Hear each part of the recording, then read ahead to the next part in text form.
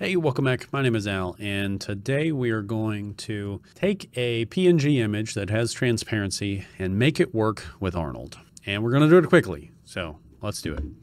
Let's go ahead, drop in a plane. I have already downloaded, you know, this image.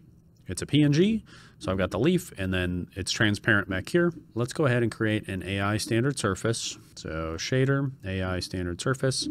I am going to drag and drop my PNG right into here. Move these nodes over and we need out color, plug that into base color. Let's go ahead, middle mouse click and drag, apply that to my plane, press six, so now I can see it. Let's add an Arnold light real quick and press IPR just so we can see that it's, you know, see what it's doing.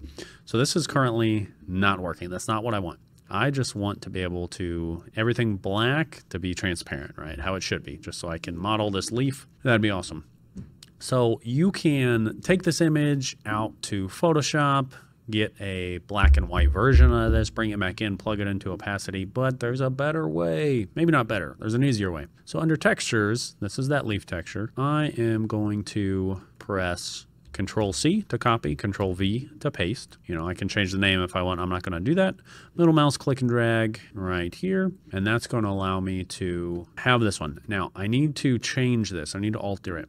So under color balance over here, I'm gonna bring the exposure up and I'm just gonna crank this to 10. And you can see essentially I have exactly what I need. I have black, which will be transparent, white is solid. And then it's as easy as taking out color, slap that into opacity, and boom. Let's test it though. Move that down and you can see 100% it works and it's super easy. You can just do all of that right inside of Maya.